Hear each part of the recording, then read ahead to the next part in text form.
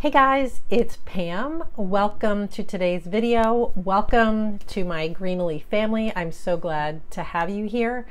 Before I dive into the content of today's video, I want to give a big shout out to all of you because you really deserve a deserve a round of applause for all that you do to try to live greener every day and help protect the planet. I know we're all busy and so any little bit you do is huge. So a big shout out to you. Give yourself a big round of applause. Anyway, so today's video is a little bit of a follow up to last week's video where I talked about going on vacation and staying green, kind of keeping and taking some of the habits that you normally do at home and taking them with you on vacation, like figuring out what day the recycling's picked up in your rental home in the community and some other things. So I will link uh, that video up here and down in the description box below for you to watch, as well as a couple of blog posts that I wrote that go along with that.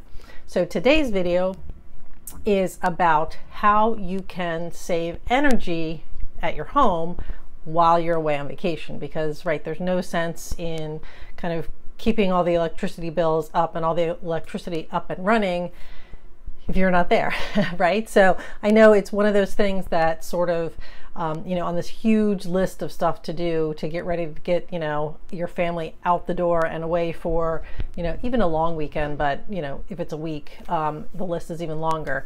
So here are some super quick, simple, no brainer tips that you can, you know, if you do nothing else, you know, do a few of these and at least you can cut down a bit on your energy use because conserving energy is a good thing. Um, and possibly save a little bit of money as well. So that's not a bad thing either. So, okay, so I am going to go through some tips for you. I will link to the blog post that kind of goes into more depth into each of these tips. But for the purposes of the video, we'll just quickly go through the tips and then hopefully you'll be on your way out to vacation somewhere. um, okay, so the first tip when you are heading out on vacation if you can do some unplugging around your house. So many um, items that you have plugged into your home, even if they're off, um, maybe you have them in like standby mode, are still drawing power. So they're still using, you know, energy, electricity. Um, so, you, you know, and you're not there to use it. And so that's costing you money as well. So my first tip is to unplug to, you know, save some energy and money while you're away. Now, I don't expect people to like run around their house and, you know, unplug everything that they're not going to use.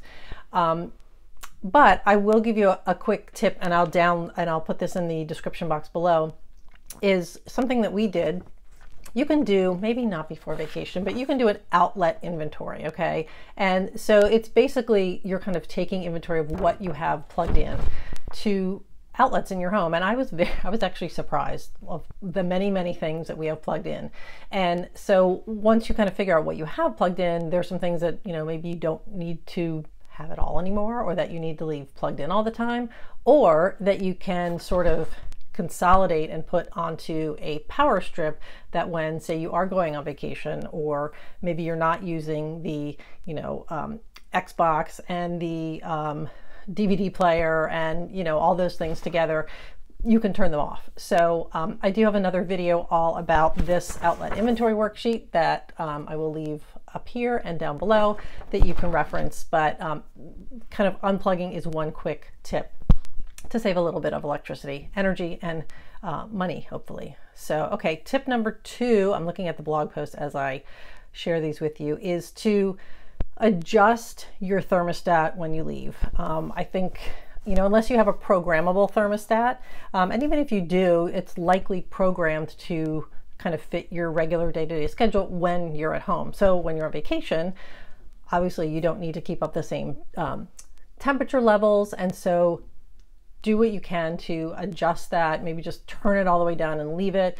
You know, if you've got pets staying at home, um, obviously, you want to keep that in mind. You want to keep it cool for them right now, um, but just do what you can to adjust the thermostat and set it at a point where it's, you know, really not running like you were home. So that's tip number two. Tip number three is to lower the temperature on your hot water heater. You can consider that because you don't really need to keep the temperature of your water hot if you're not there. Um, you just have to remember to turn it back up when you get home. So when you go to take your, you know, shower when you're home from vacation, you know, you're not ah, kind of shocked by the no hot water. So that's tip number three is to lower the temperature on your hot water heater. Okay. Tip number four is one that um, I often forget to do uh, is simply to turn off all the lights in your home except for maybe one or two so that it doesn't look like your house is completely dark and you know nobody's home. And um, you know you can even put lights a few lights on timers so that way they can sort of turn on and off as if you're home not you know kind of alerting everybody that there's nobody in this home right now. So turn off all the lights um, except for the ones that you want to you know kind of leave on to stay comfortable um, but obviously turning off lights conserves energy. So, okay, and my last tip, which actually doesn't have to do that much with energy, is um, to cancel your subscriptions. Um, and because you know you don't need your papers and things delivered when you're not there and it's a really good time which is kind of what i did is to use that time to switch to online versions of things so um, so, and that way you actually won't even miss getting the subscription while you're on vacation. So um, it's a great time to move to online subscriptions versus paper subscriptions. So anyway, that one doesn't have to do with energy savings, but um, I just threw that in there because it's something that I often forget to do as well.